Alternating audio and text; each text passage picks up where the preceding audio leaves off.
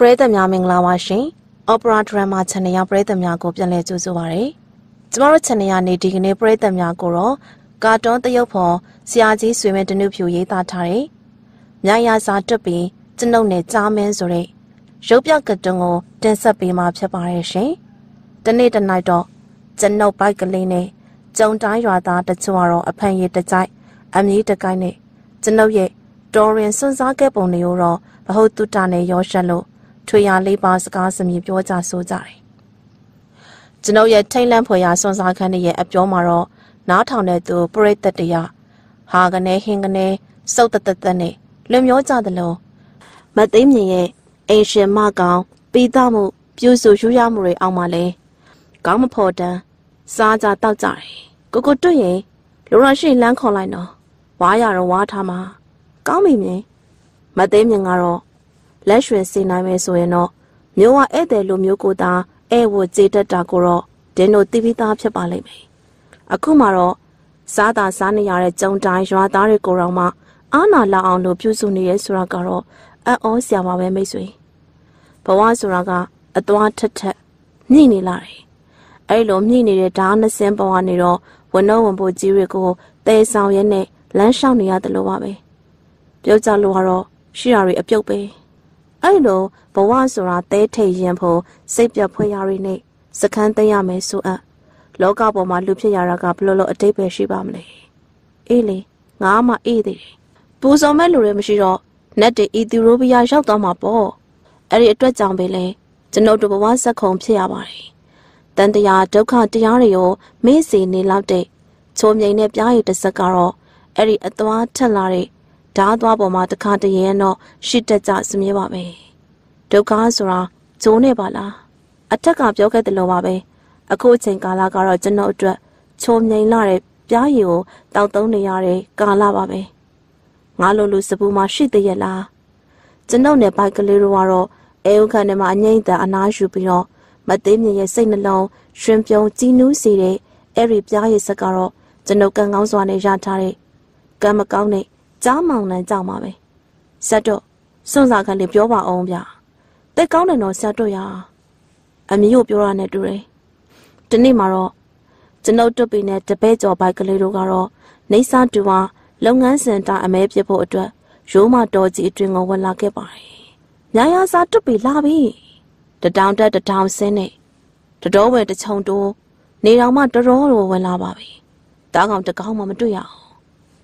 ပြန်ကြဆိုဗျာခြေရလည်းညောင်းနေပြီဗျာ။တားကောင်မရဘဲနဲ့အိမ်ပြန်မယ်ဆိုရင်တော့မသိမြင်ကိုရှင်းစားရမယ်။ရှင်လေးလိုက်တာ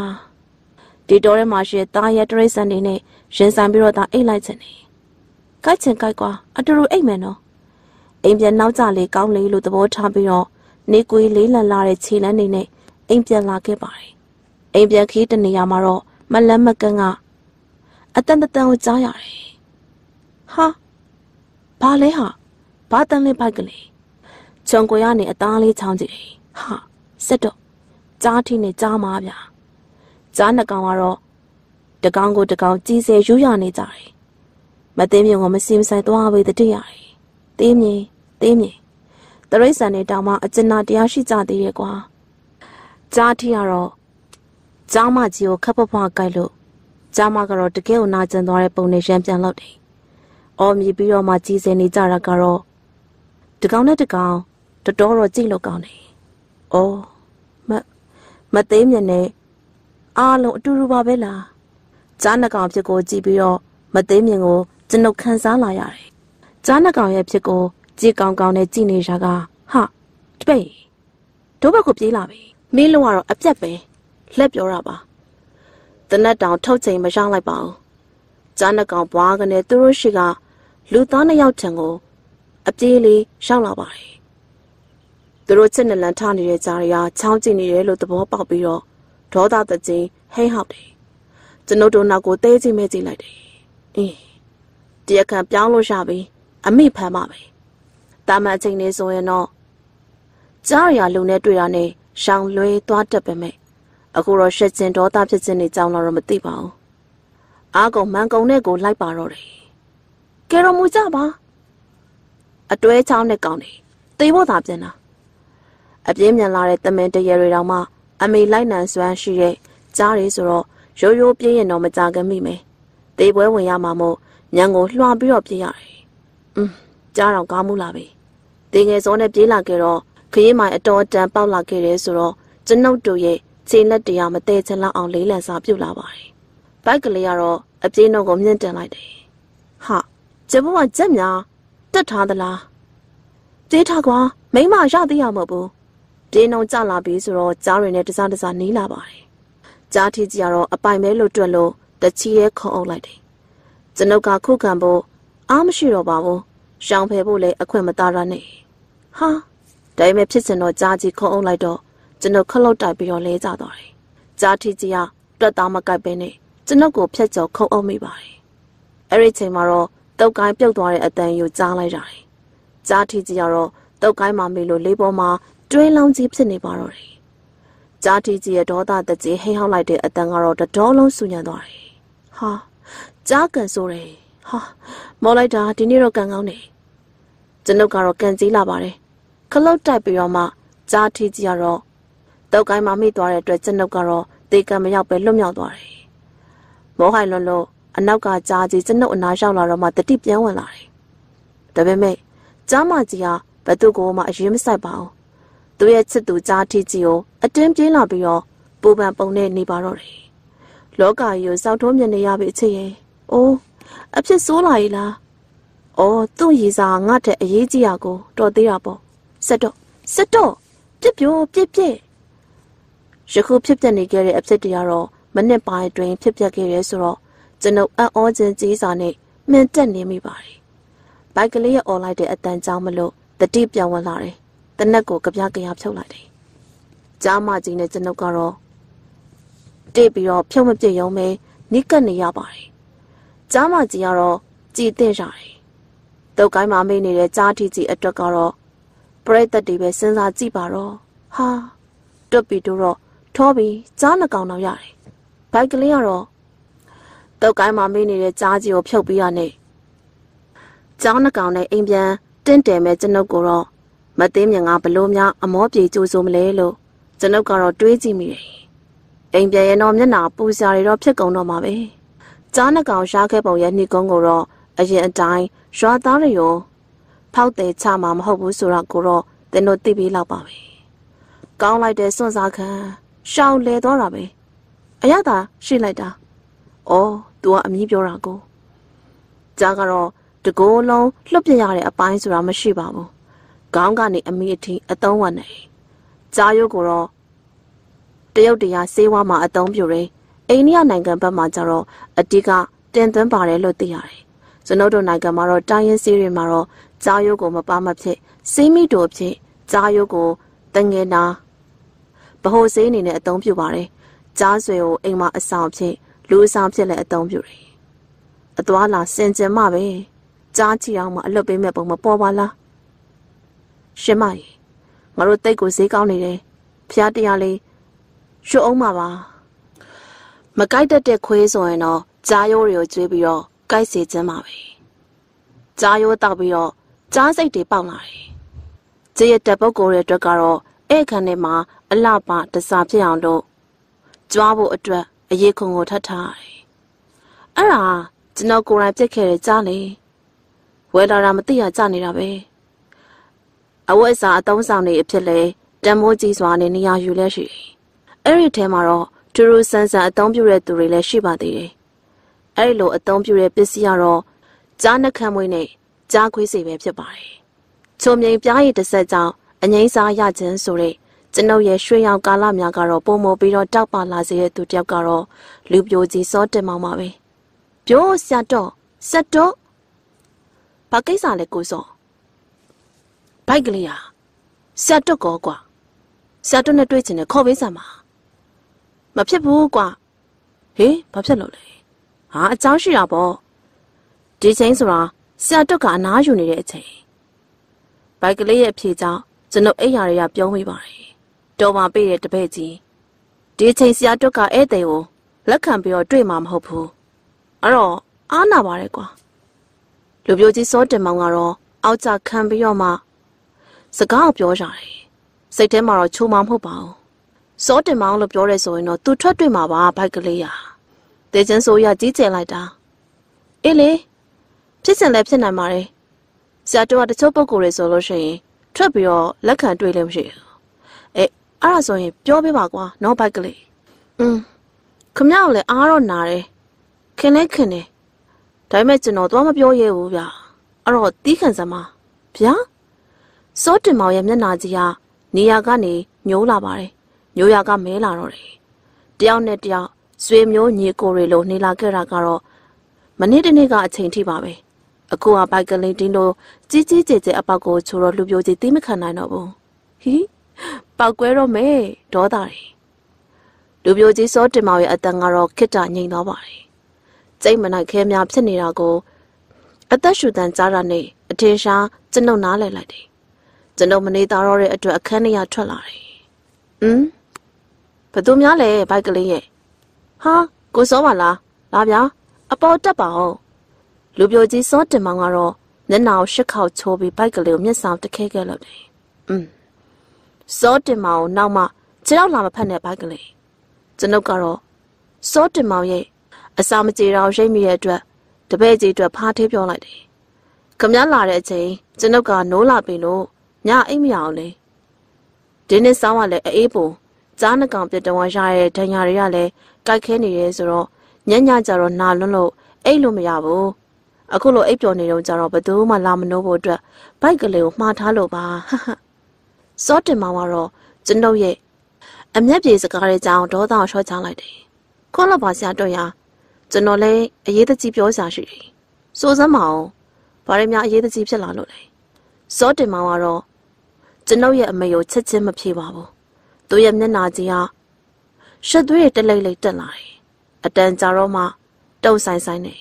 ။ကျွန်တော်ကျွန်တော်ကြားနှခမ်းမွေးလိုချင်လို့ဆရာတော်ဟမ် ကြားနှခမ်းမွေးလိုချင်တယ်ဟုတ်လားကိုစောဟုတ်ဟုတ်ပါတယ်ကလေးတငယ်နာအစမကြိုက်တတ်တဲ့ခွေးကြိုက်အောင်လို့ကြားတကောင်လုံးအသုံးချနေကိုကျွန်ုပ်ကသိတယ်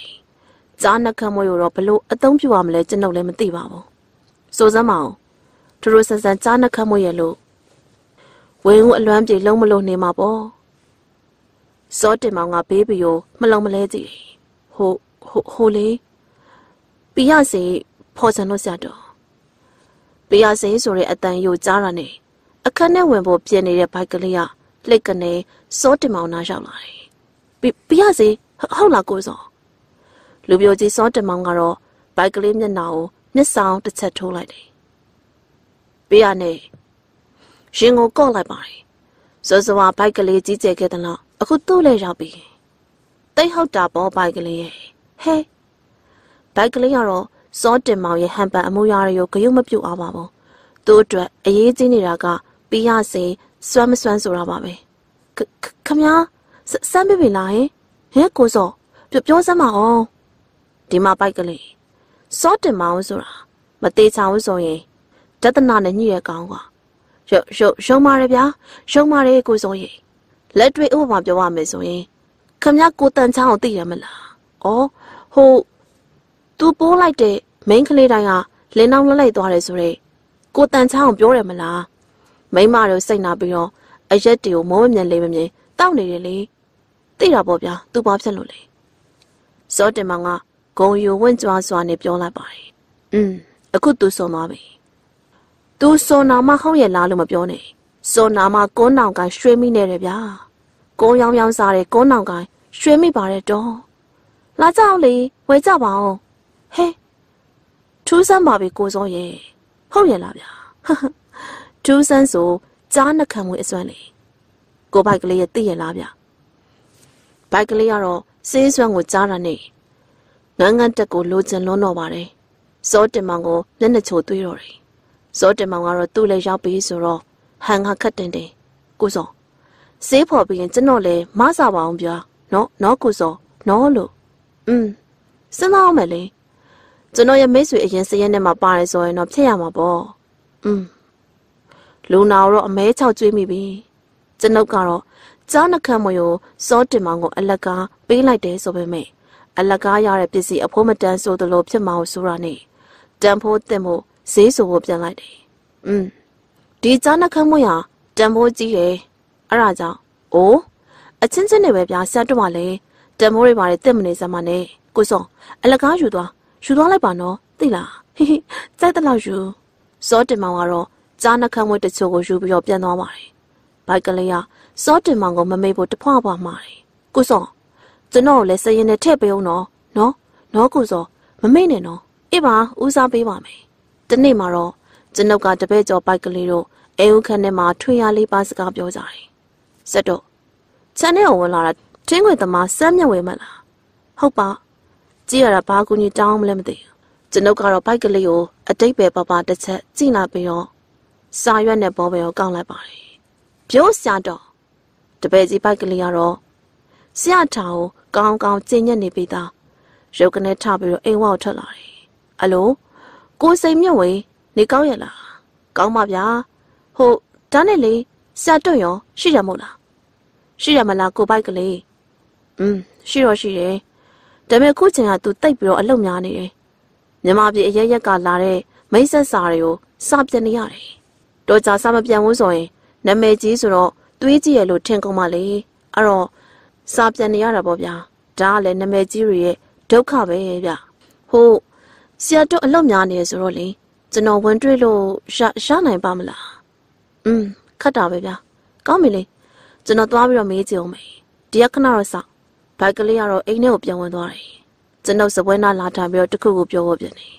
ဩလှုပ်လိုက်ပါကွာဘိုက်ကလေးရဟူအလောက်တရားလည်းများလာလားကွာ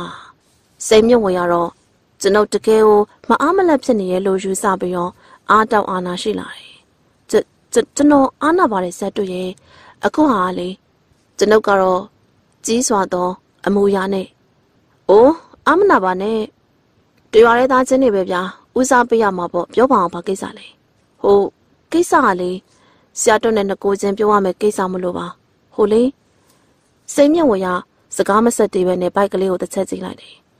ကျွန်ုပ်တပည့်ရှိရနေဘာမဆိုပြောလို့ရပါတယ်ကိုစိတ်မြတ်ဝေးရှုပ်ရှုံးပါတယ်ဗျာအခုဟာကျွန်တော်ရဲ့ကိုရေးကိုရာကိစ္စမို့လို့ပါဒါနဲ့ကျွန်ုပ်ကဘိုက်ကလေးကိုအိမ်ပြန်ထွက်ဆင်းလိုက်တယ်စိတ်မြတ်ဝေးကိစ္စနားထောင်နေဒီလိုပါအချိန်တန်ကြာပြီးတဲ့နောက်တော့ စိတ်မြတ်ဝေးတယောက်စိတ်ပြက်လက်ပြန်နဲ့အိမ်ပေါ်ဆင်းလာတယ်ကိုစိတ်မြတ်ဝေးပြန်တော့မလားဗျဘိုက်ကလေးရဲ့အမေးစကားကိုတော့မှမတုံ့ပြန်တော့ဘဲနဲ့ကောင်းငိုက်ဆိုင်ငိုက်ဆိုင်နဲ့ပြန်သွားပါတယ်ဆဲမြက်ဝေအကြောင်းဘိုက်ကလေးကတိစင်နာနဲ့အိမ်ပေါ်တက်လာတယ်။ဆက်တော့ဆဲမြက်ဝေတယောက်မျက်စိမျက်နှာပြတ်ပြီးတော့ပြန်သွားပါလားဗျဘလို့ဖြစ်တာလဲ။อืมကျွန်ုပ်လည်းသူတောင်းတဲ့အကူအညီကိုမပေးနိုင်ဘူးတပည့်ကြီးဟာငွေချေးတာလား။ဟုတ်လားဆက်တော့။ အိုးကွာတပည့်ရလေ။ဝေရေးကြေးရေးဆိုတာဆက်တော့တော့ကအသေးဖွဲပါ။อืมကြားနှကောင်ရထားတော့လေးကျင်းနေတာပေါ့လေ။အခုဟာ तू ကကြားဝေးစိတ်လိုချင်တာဗျာကြောင်းဝင်းစီဟုတ်လားအေးဟုတ်တယ်ဘာဖြစ်လဲဗျာပတ်စံရရောင်းလိုက်ပါလားတပည့်ရတော့သူ့ဆရာစိတ်ကိုမသိဘူးကျွန်ုပ်ကတော့ရောင်းချင်တာပေါ့တပည့်ကြီးရဲ့ဒါပဲမဲ့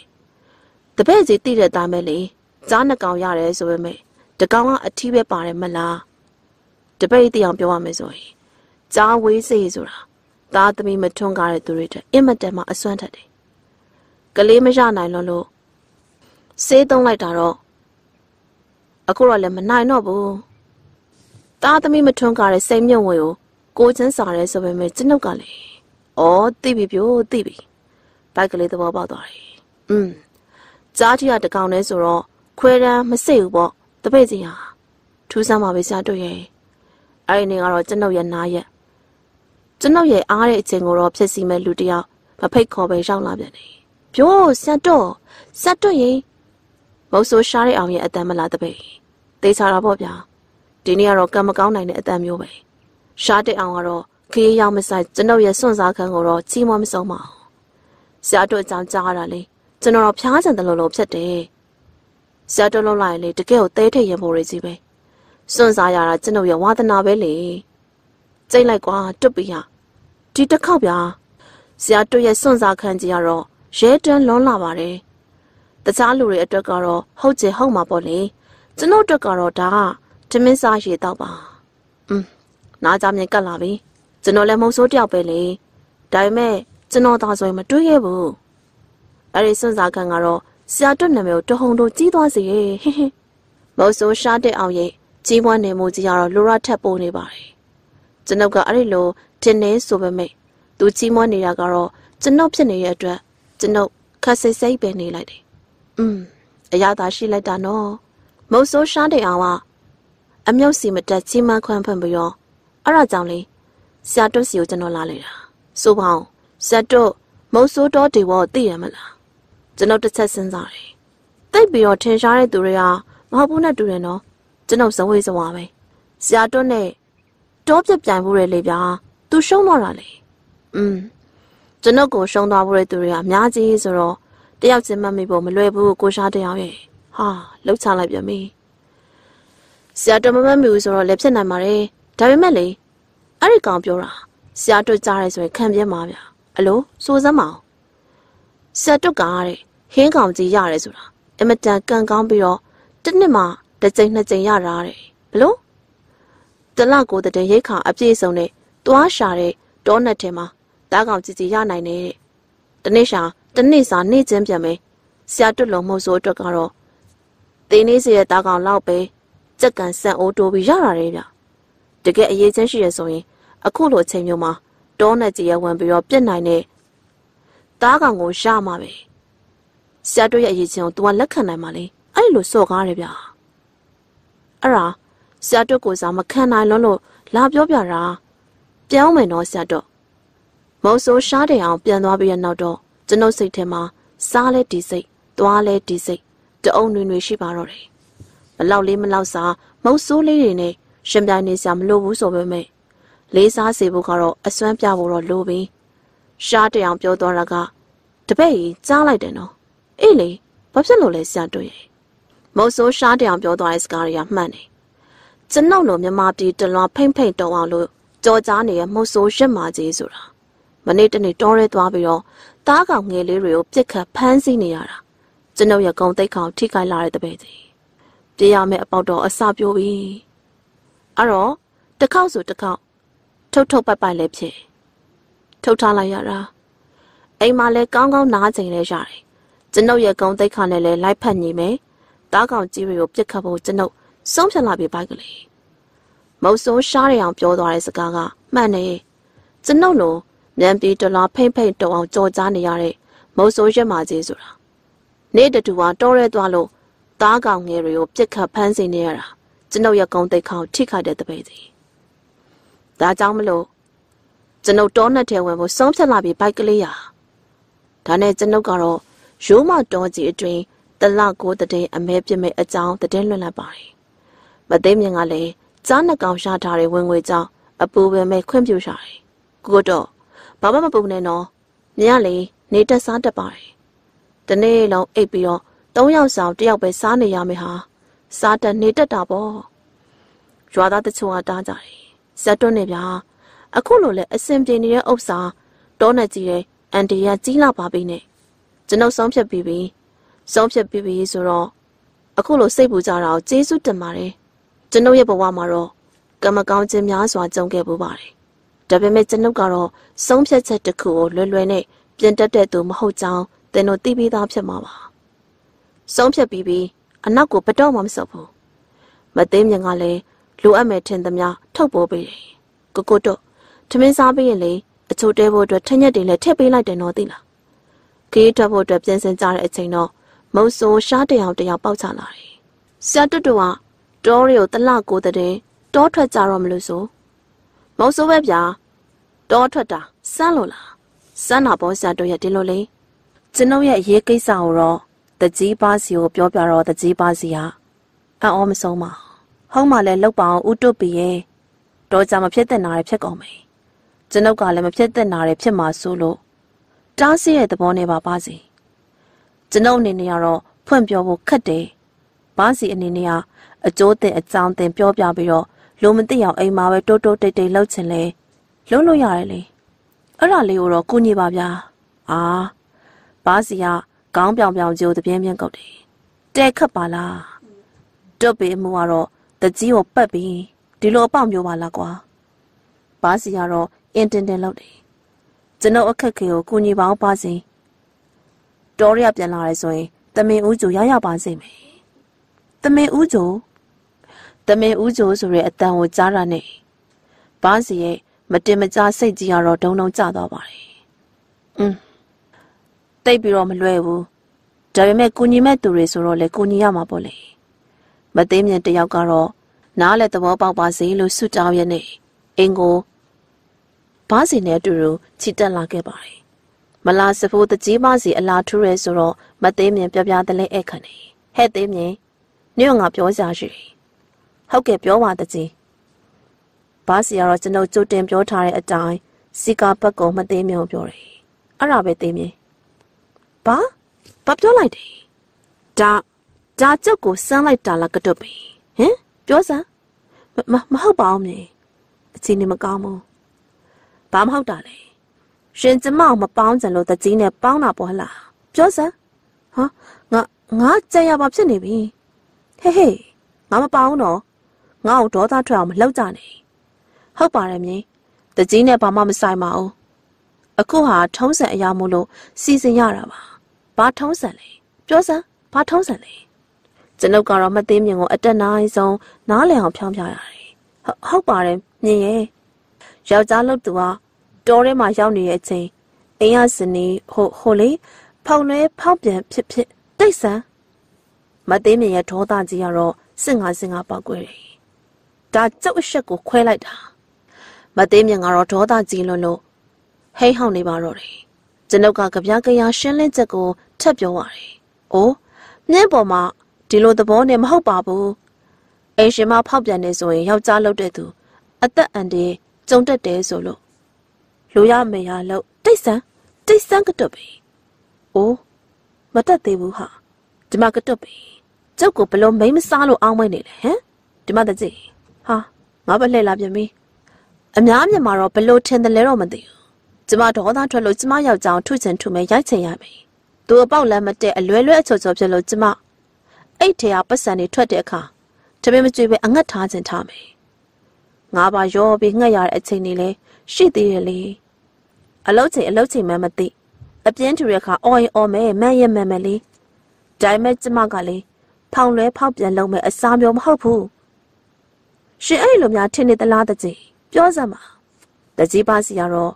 စိတ်အိုက်လာလို့နဲ့တူတယ်မျက်နှာကြီးကလည်းနှီးလို့ချွေးရရလည်းပြန်လာတယ်တွတ်ပီရဲ့တမင်ကြိုမှတ်မိတော့ငါကတော့လေ6ပေါင်နဲ့တိုးပြီးဒီမှာကတော့ပြီ ရှင်ရကွာခြင်းနဲ့ဆိုရင်အပီးကွာသွားလိုက်အိုးမဟုတ်ပါဘူးမြင်ရဲ့မသေးမြင်ကတော့ဒေါသကဝမ်းနေမှုကိုပြောင်းသွားပါတယ်ရှိုက်ကြီးတင်ငင်ကိုလေဒီတခါရှင်ကိုကြောက်စိတ်အနာဆုံးပဲကျမအောင်မအထင်သေးရတယ်ကျုပ်လိုမိမမျိုးထမင်းထုတ်ထမ်းပြီးတော့ရှင်ရှာကြည့်စမ်းအားလုံးအားလုံးမင်းထက်တာတယ်ရှင်ရဲ့ပုံမျိုးနဲ့ဆိုရင်တော့လေအတူစစ်ခွဲနိုင်ခဲ့တဲ့မှတ်သေးမြေရှင်ကျုပ်ကိုပြောရတယ်တော့အဲ့ဒါလို့တယောက်ဆိုတယောက်ဗရောက်ဆိုဗရောက် အဲ့လေတွတ်ပီဆိုတွတ်ပီခဲ့တဲ့သူမှအထင်သေးရတယ်တော့တခြားသူတွေထင်နေဆိုရင်ကျုပ်ခတ်နိုင်တယ်အခုရှင်ကိုရရငါလည်းလက်မကြားမလွယ်ဘူးဘာစီကတော့မရောက်မလဲနဲ့လက်ထွက်သွားပါတယ်ကျွန်ုပ်ကတော့ဝမ်းပန်းတဲ့ငိုကြွေးနေတဲ့မသိမြင်ကိုကြည့်လို့ဂယုနာစိတ်တွေပေါ်လာတယ်။အော်မြင်ရဲ့ကျွန်ုပ်စီစဉ်တာကတော့သူမရဲ့တိတ်ခေါအကြီးကျယ်ထိပါသလိုဖြစ်သွားခဲ့ပါတယ်။မသိမြင်နားလေသဘောပေါက်စေဖို့ ရှင်းပြပေးမယ်လဲတသိန်းသိန်းငိုကြွေးနေတယ်။နောက်ဆုံးတော့မသိမြင်ကိုတင်းကျပ်စွာဖတ်ပြီးတော့တဖွာဖွာတောင်းပန်နေမိတော့တယ်။ညင်ရဲ့ကိုကိုတမားပါတယ်။တိတ်တိတ်နော်။အဲ့ဒီလိုနဲ့ကျွန်ုပ်တွတ်ပြီးနဲ့တပည့်ကျော်ဘိုက်ကလေးတို့ကတော့လမ်းပြတယောက်နဲ့အထမ်းသမားနှစ်ယောက်ရိုးမတောနဲ့ကြီးအတွင်းကိုတားကောင်ကြီးတွေပြစ်ဖို့ဝင်လာခဲ့ကြပါတော့တယ်။သုံးရက်လောက်ခီးပြင်းနေလာခဲ့ကြတော့တားကောင်ကြီးပြစ်ခတ်ဖို့အတွက်ရည်ရွယ်ခဲ့တာမို့ တားကောင်ငယ်တွေကိုပေးမဲ့ပေတယ်။ပြည့်လည်းမကြောက်ပါဘူး။ရှောင်းမထီရဲ့လက်လေးနောကျိန်နေပြီ။စမ်းချောင်းတစ်ခုနာမှာစခန်းချတယ်။ညတကောင်ရံမှာတော့ဝေါင်းကနေထူးခြားတဲ့အတန်ကြီးကိုဖြတ်ကနေကြလို့နိုးလာပါတယ်။ဘိုက်ကလေးဘိုက်ကလေးဟင်ဘာဘာဖြစ်တာလဲဆရာတော့နားထောင်စမ်းကွာဟမ်ဘာတန်ကြီးလဲတခါမှလည်းမကြားဘူးပါလားအဲ့ဒါကြားမင်းရဲ့အတန်ပဲတပည့်ကြီး ကြားမင်းကြီးရဲ့အတန်ကပျောက်သွားပြန်တယ်ကဲအခုညတော့ဆက်တာအိတ်ကြမနဲ့ကြတော့ကြားမင်းနဲ့ပတ်သက်ပြီးတော့ကြားဖို့နာဝါရီကျွန်ုပ်ပြောပြမယ်ဟုတ်ကဲ့ဆရာတော်စတော့ကြားမင်းကြောင့်ပြောပြမယ်ဆိုဩအေးအေးကျွန်ုပ်ကတော့တသက်မှာတော့ကြားမင်းနဲ့ထိတ်တိုင်မတွေ့ခဲ့ဘူးသေးဘူးကျွန်ုပ်ဖခင်နေရတော့တောလေရဲနဲ့တခါတော့ကြုံဖို့တယ်အခုလိုအတန်ကြားဖို့တယ်ကြားမင်းအတန်ကြားရဲဆိုရင်တောမလဲပဲနဲ့ပြန်တာအကောင်းဆုံးလို့ပြောကြတယ် အဲ့ဒါဆိုအခုတော့ဆက်တော့อืมဒီလောက်ရောက်ပြီပြီဆိုမှတော့ထပြန်တော့လေအထမ်းသမားတွေလည်းတမျိုးဖြစ်မယ်ရှေ့ဆက်သွားရဲဆိုရင်လည်းအန်တီရရှိနိုင်တယ်အဲ့တော့ကျွန်ုပ်လူရတော့နာမည်နဲ့အသက်ရွေးပါဆိုရင်ကျွန်ုပ်နာမည်ကိုပဲရွှေရလိုက်မယ်ဟာတော်တော်ထူးဆန်းပါလားဆက်တော့ထူးဆန်းတာတော့အမှန်ပဲတပည့်ဒီเจ้าမျိုးကျွန်ုပ်ဖခင်ကမပြောကောင်းတဲ့စကားကိုသဘောလောက်ပဲရှင်းပြခဲ့တာသူမှခဲ့တာကြားမဲ့အတန်ကြားရဲဆိုရင် တောမပြစ်ပဲပြန်နေတခွန်းနဲ့တော့စကားပဲဒါပေမဲ့ကျွန်ုပ်ကတော့နောက်မဆုတ်ချင်ကြားမဲ့နဲ့ရင်ဆိုင်မှုဆုံးဖြတ်လိုက်ပြီဆက်တွရဲ့သဘောပါပဲတရက်လောက်အနားယူပြီးပြီဆိုတော့အင်းအားတွေပြန်လဲလို့ပြည့်ဖြိုးလာပါတယ်နောက်တနေ့မနက်ခင်းမှာတော့ကျွန်ုပ်ရဲ့တောပြစ်အဖွဲတို့ကတော့ရိုးမတော်ရဲဆက်လက်တိုးလာခဲ့ကြတယ်အကြားသာရှိပြီးတော့ဘသူမှမထိတွေ့ဘူးတဲ့ကြားမဲနဲ့ရင်ဆိုင်တွေ့ရမှာမို့စိတ်တရားတော့လှုပ်ရှားမိတယ် အတန်ငယ်ခီးပေါက်လာပြီးတဲ့နောက်တော့တခုတော့တောင်ဆောင်မှာတော့မျက်စားနေတဲ့တရက်တကောင်သွားတွေ့တယ်။ယနေ့စခန်းကြတဲ့အချိန်တော့အသားရိုက်ခါလိုအပ်နေတာဖြစ်တဲ့အတွက်ကျွန်ုပ်တနက်နဲ့ထိုးချိန်ပြစ်လိုက်ပါတယ်။တရေကတော့တောင်ခပန်းကနေတလိမ့်ခောက်ကွေးကြလို့ဘိုက်ကလေးဟာဝမ်းသာအားရနဲ့တားကောင်ကောက်ဖို့ပြေးတယ်။ထိသွားပြီထိသွားပြီ။အဲ့ဒီချိန်မှာတော့ကြီးမားလာတဲ့တောပစင်ကြီးတကောင်ကကျသွားတဲ့တားကောင်ကြီးပေါ်ကိုထိုးစင်နေ။ဟာ နဲတဲ့ပစင်ကြီးမဟုတ်ပါလား။ဟေးဟေးရှုရှုဟာခေါင်းတစ်ချမ်းဖွင့်နေရတော့ထပြေးတယ်။ပစင်ကြီးကတော့ခြောက်နေတဲ့ကြားတွေကသေနေတဲ့တရေနာကိုထပြီးတော့ဆင်းလာတော့တရေကထပြေးတယ်။ကျွန်ုပ်ကတော့ကြက်သေးသေးနေတဲ့အချိန်မှာလက်ဆွဲနှလုံးပြူကအသင့်ပြန်လိုက်ပါတယ်။တားကောင်ကိုစီးတားဖို့အတွက်အထမ်းသမားတွေကပြေးလွှားလာတယ်။ဟင်ဘာဖြစ်တာလဲ။စက်ကောင်နဲ့လူ လူနဲ့တားကောင်ကရှုပ်ထွေးစွာနဲ့ပြေးလွှားကြတယ်။ကောင်းတစ်ချမ်းပွက်နေတဲ့တားကောင်ကတော့လူစီကိုဥတီပြီးတော့ပြေးတယ်။အနားရောက်တော့မှနောက်ကျောင်းကိုပြန်လှည့်ပြေးတယ်။ဘိုက်ကလေးရလိုက်တားကောင်ကပြေးအထမ်းသမားတွေကဖမ်းနေကဘာပြတ်တယ်လို့စူညံနေပါတော့တယ်။တချီမှာတော့တားကောင်ကကျွန်ုပ်စီကိုတက်တက်ကြီးပြေးလာတယ်။ကျွန်ုပ်ကတားကောင်ကပြေးလာတာကိုတွေ့ရနေလှမ်းပြီးတော့အပြစ်မဲ့အပြူတနက်ကိုအရွယ်မှာတော့ရုပ်တဲ့တော်လုံးတဝုံတတိုင်းတိုင်းနဲ့ မိုးချင်းတဲ့နေမြည်ခီးလာပါတယ်။တော်တော်လုံးအမောင်ကျသွားတယ်။မောင်တိမောင်မအလဲရောက်မှာတော့တားကောင်ကကျွန်ုပ်ရှိရောက်တစ်ချိန်ထိုးပြေးလာတယ်။ကျွန်ုပ်ကတော့အချိန်စားမနေတော့ဘဲနဲ့ခလုတ်ကိုဆွဲလိုက်ပါတယ်။တေချာကြည့်လိုက်တော့ဘိုက်ကလေးကိုတွေ့ရတယ်။အော်တော်ပါသေးတယ်။မပြစ်မိလို့ဖျားဖျား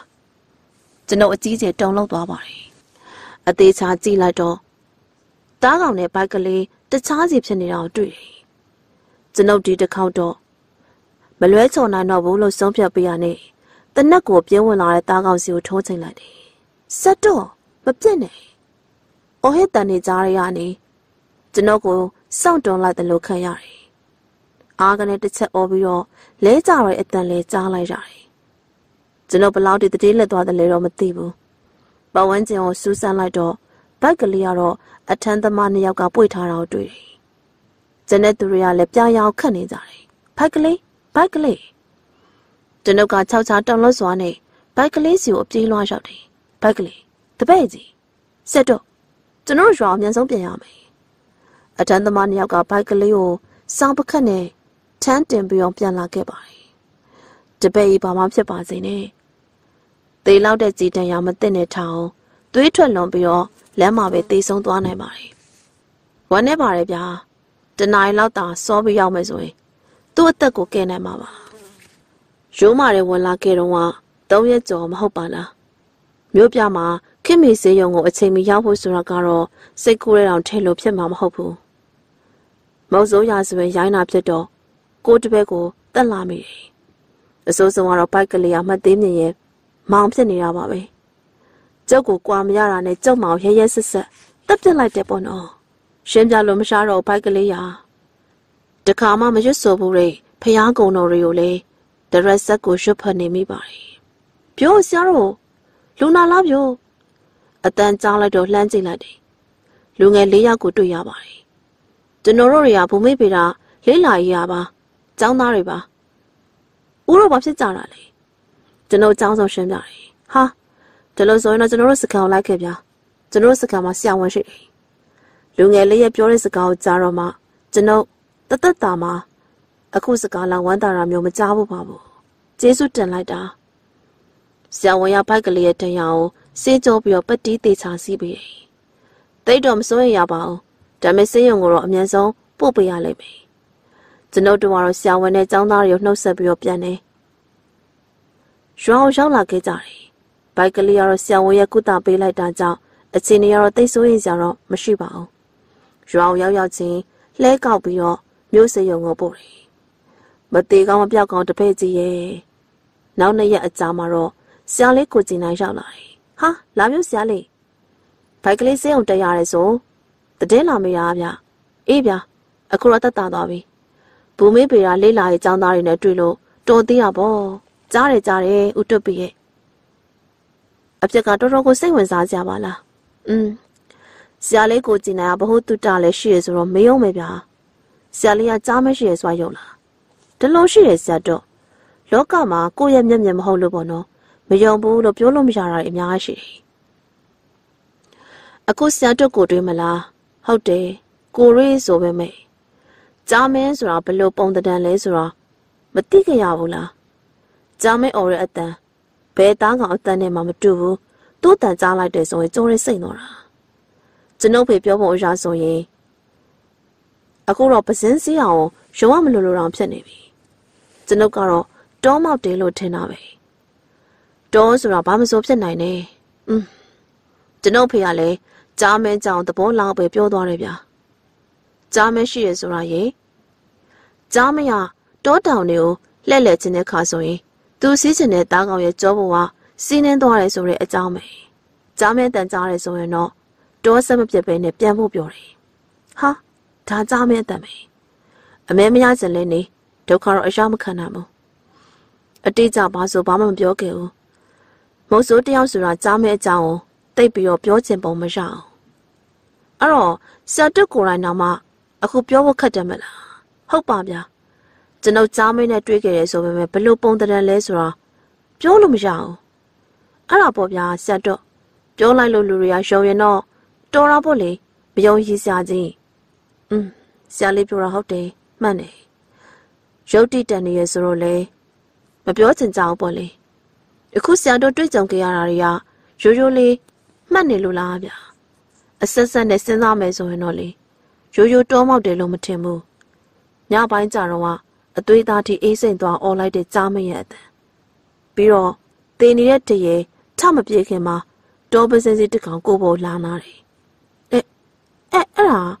ကြားမရတခါတလေတောပစင်ရောက်ဆောင်ပြီးတော့မှအခုလိုတွေလောက်တက်တယ်လို့တော့ကျွန်ုပ်ဖေကရုံတန်းဆန်ဆန်တော့ပြောဖို့တယ်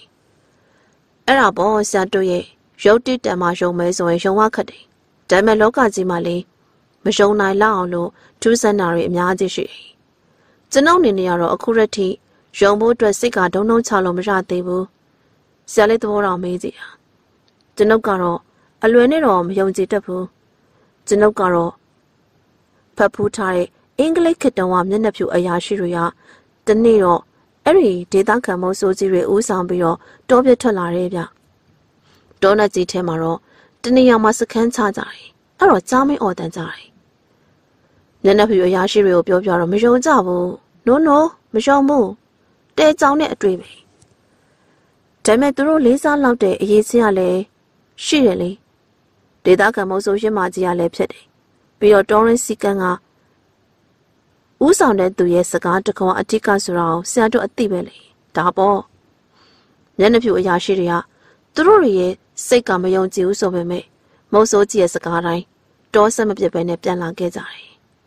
အဲ့တော့အဲ့ဒီကိစ္စမုတ်ဆိုးအစင်စင်ယုံကြည်ခဲ့ကြတဲ့ကိစ္စ